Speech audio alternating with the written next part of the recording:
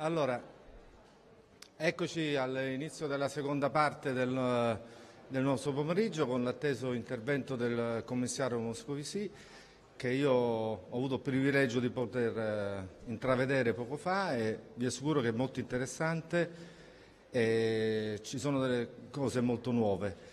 E quindi vi prego adesso di sedervi e passo la parola al commissario. S'il vous plaît, monsieur le commissaire, c'est vous.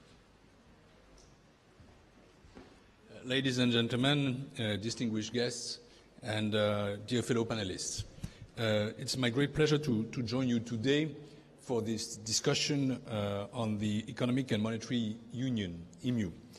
Uh, allow me to warmly thank Eunews and the uh, Commission's representation in Rome for this stimulating conference program. Europe is not a topic that traditionally attracts large crowds, but this may change. The need for more Europe has certainly been keenly felt in Italy for the past months. Uh, this is especially true for the refugee crisis, and it is also true for EMU. I would like to uh, focus on two points uh, only today. First, what went wrong with Greece? Second, how to move forward with the report of the five presidents uh, on deepening Europe's economic and monetary union. Uh, the first question I would like to, to submit to the panel is uh, what went wrong with the Eurogroup's uh, handling of the Greek crisis?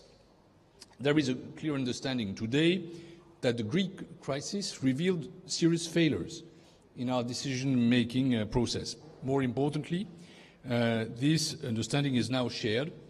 It is shared across the political spectrum, and it is shared by heads of state and government. We have been experiencing uh, these failures for years now, but uh, it took the Greek crisis for our leader uh, to come to the realization that change was needed. And I'm not talking about uh, a cosmetic change or change in 10 years' time. In my opinion, our decision-making process failed on three points, and we need to reform it now. Uh, first, democratic oversight.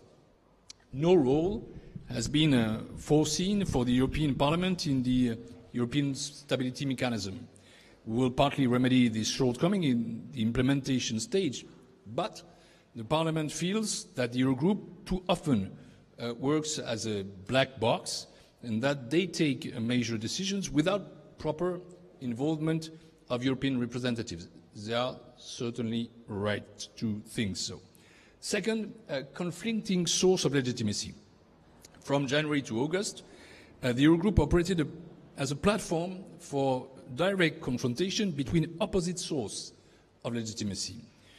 It was given for all governments around the table that Greece should respect the uh, commitments made by Athens under previous leaderships, but Mr. Tsipras' government uh, objected to this premise because Syriza's campaign platform departed significantly uh, from those very commitments. Therefore, institutional legitimacy was pitted directly against political legitimacy. Uh, in addition, the legitimacy of the Greek government and of the Greeks' vote in the referendum organized uh, in July was pitted directly against the legitimacy of other European governments. Uh, yet, and yes, the Greek government is accountable for, to its people, but so are the other 18 governments in the euro area. The Greek people need to be respected, of course, but so uh, have the uh, 18 other uh, people uh, in the uh, Eurozone. Finally, we faced tremendous difficulties to express the European general interest. As Habermas pointed out, European governments are unable to act in the interest of a joint European community because they think mainly of their national electorate. We are stuck in a political uh, trap. In other words, the sum total of conflicting national interests doesn't add up to the European general interest. That's not new, but uh, it is politically significant there. I would even say we need to define the uh, euro area interest. The Commission attends these meetings uh, through me, but is not firmly part of the decision-making process contrary to the ECOFIN or, or the Environment or the uh, Justice uh, uh, Council. This must be remedied. Uh, only the Commission can, in my view, bring the value added of expressing this general interest that we must define. We, Europeans, uh, failed to solve this conflict in a timely and orderly uh, fashion because we didn't have the right instruments, whether they are institutional, political, or democratic, for this purpose. At the end of the day, uh, each side, whether in Greece or in the Netherlands uh, or in Lithuania, probably feels equally violated by the terms of the agreement. Drawing on this sobering experience, uh, where should get EMU? The report of the five presidents on completing EMU uh, provides us with a roadmap to address some of the challenges I mentioned. It is a valuable starting point that must now be implemented, and there the Commission will play uh, its role fully. Here is my take on it. I'm going to assume that few people in this room are aware of this report. I would not, frankly, blame you. Uh, yet uh, another report on uh, EMU, you might think. Uh, well, I believe that this time uh, things are slightly different. Not so much in terms of contents. Many proposals have been floating around these past few years, but in terms of context. We have seen a shift in political sentiment. Of course, uh, the report is not perfect. Uh, and many within my political family, I'm a social democrat, would have liked it see more proposals on the social dimension of the EMU, as well as on its political integration.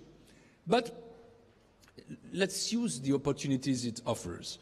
The report draws a distinction between two separate and consecutive phases. Phase one broadly aims uh, at boosting growth and fostering convergence. Uh, phase two includes proposals to increase European solidarity and to deepen our institutional uh, framework. I feel very strongly that these two phases are complementary and must be considered as a coherent and balanced unit. Phase one identifies a, a set of short-term actions that the Commission uh, is actively working on. But phase two, uh, not to be seen as some distant prospect for the faraway future. Uh, phase two renders the whole endeavor uh, meaningful for the people, for the uh, public opinions, uh, for the uh, member states, for the political authorities. It is what impacts politically and what is going to change values and give value and purpose to the actions of phase one. Three initiatives uh, under phase one are uh, of particular importance. First, we have a job to finish on the banking union. As you may know, the banking union uh, rests on three pillars. The single supervisory mechanism, first pillar, we have it. The single resolution mechanism, phase two, uh, second pillar, we have it. And finally, uh, a European deposit insurance scheme. The third pillar that uh, we have not yet set up. This is where we are uh, focusing resources now. The report calls for concrete steps towards a common backstop to the uh, single resolution fund. We must create it. Ultimately, the common financial backstop will be guaranteed by national budget. Therefore, what is ultimately at stake here is a concept that we didn't mean until now, solidarity. The appetite of uh, member states, or, or, lack of appetite, uh, to set up the European Deposit Insurance Scheme will be an excellent indicator of their appetite to deepen solidarity among euro area members in general. EU uh, finance ministers had a, a first exchange of view uh, on the insurance scheme last weekend in Luxembourg. To be uh, frank with you, I am moderately heartened by the substance of their discussions so far, but we are just at the beginning of the process. Risk reducing is a legitimate concern, and it should be fully addressed. But it should not be used as a kind of smokescreen to further stall on risk sharing. Phase one also calls for the creation of new bodies, both at the European and at national level. My view is that these bodies can be useful and should promote economic uh, convergence, but not duplicate existing surveillance mechanisms of procedures that we have already uh, in our pocket. The report suggests creating competitiveness authorities. I have to say that around the table of the ECOFIN Council, there was limited enthusiasm uh, when we discussed these proposals.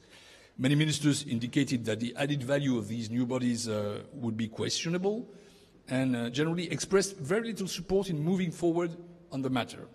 There is also some skepticism uh, within the European Parliament. Further uh, reflection is uh, thus needed here. As far as I'm concerned, I can envisage a useful role for national competitiveness authorities if their mandate is not restricted to examine only wage formation, but is large enough to encompass productivity, uh, which then touches on issues such as education or R&D. We should also be very flexible with respect to the format and not opt for a, what I would call a, a one-size-fits-all approach. The report also recommends creating an advis advisory European Fiscal Board this board would uh, provide an independent analysis at European level on how budgets uh, perform against the uh, economic objectives set out in the EU uh, fiscal governance uh, framework. This proposal uh, proved even more controversial with ministers of finance. many pointed out that the priority should be on proper implementation of existing rules rather than on the creation of new bodies. Others noted that multiplying uh, bodies typically leads to dilution of responsibilities. Instead, the Commission should firmly keep its existing prerogative, and uh, really be uh, uh, cautious on that, on fiscal matters, and must be held accountable for the way uh, it exercises them. The last proposal that uh, the Commission will put on the table in the weeks to come is quite ambitious and foresees a single representation of the euro area at the IMF. Now that our currency um, has gained a very solid global status with market operators and sovereigns, uh, it is time to move on with the external representation of the euro area in international financial institutions. It would have been a, a different game uh, if the 19 euro area countries uh, had put all their weights in the discussion uh, at the IMF board uh, during the Greek crisis but we were divided there. No matter who will sit in this chair, we will see. What is important is that we ensure that the euro area speaks with one voice and only with one voice. Then let's move to phase two. Phase two uh, includes two highly political initiatives, uh, both representing a, a, a, quantum lead forward, uh, leap forward for the EU. The five presidents' report first foresees a, a macroeconomic uh, stabilization function uh, for the euro area. This is, uh, you know, uh, characteristically uh, convoluted EU jargon to, to, refer to a budget for the euro area. I am a long-time supporter of such a budget and will, of course, make every effort to bring this proposal to life in a reasonable time frame. A lot of questions will uh, have to be answered by them. How will the budget be uh, funded? Work is ongoing on the financial transaction tax or on the EU own resources. Some of the conclusions of these uh, various uh, works uh, strand uh, may be relevant for the euro area as a whole. Another crucial question is the purpose of the budget.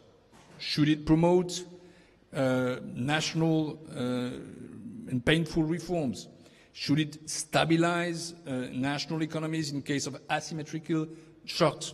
Should it operate as a redistribution instrument? These are all open questions at this stage. I expect political discussion uh, to be difficult on this uh, macroeconomic stabilization uh, function.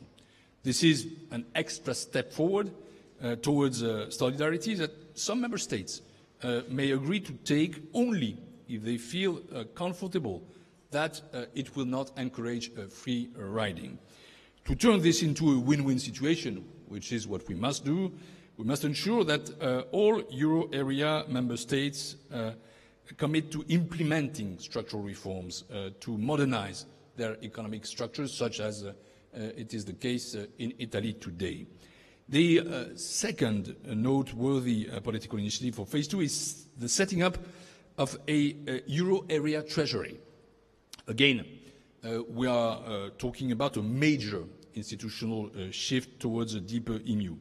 As Commissioner for Economic and Financial Affairs, Taxation and Customs, uh, and as a former finance minister in my country, France, I can see a, a lot of synergies between these two building blocks of what should be, in the long run, a future EU treasury.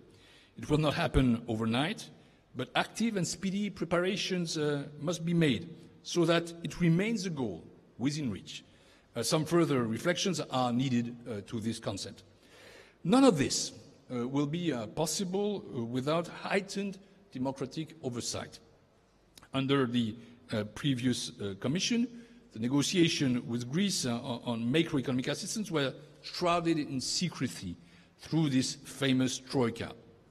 The political backlash uh, against uh, procedures that uh, were seen by many as a denial of democracy was uh, strong enough uh, that uh, President Juncker committed to replace it in the future with a more democratically legitimate and more accountable structure. This Commission has already departed for, from previous practices.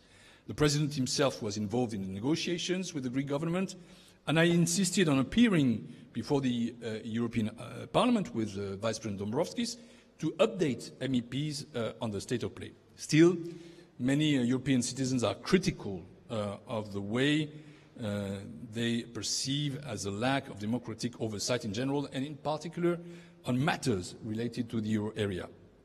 If we are to head towards more solidarity, I find it perfectly understandable that they would require in parallel stronger accountability mechanisms. Uh, in fact, I approve of them. Ladies and gentlemen, uh, Europe is hit by two crises now of systemic uh, proportions, and it's a huge challenge. Its economic governance is under very uh, severe strains, and it is struggling to respond to the most serious refugee crisis uh, since World War II. These are numerous, there are numerous common points into these new crises, two crises. They both uh, uh, stem from European governments' inability to reconcile conflicting national interests. They have both exposed deep divisions within the Council uh, and uh, its vain efforts to overcome them in a speedy fashion. They both highlight that European solidarity is not a given, that it has to be built up. Uh, but most importantly, there are both strong indications that we need more Europe. As President Juncker said in his speech uh, on the State of the Union, there is not enough Europe in this Union. There is not enough Union in this Europe. That's why the uh, deepening of EMU is about. Thank you very much.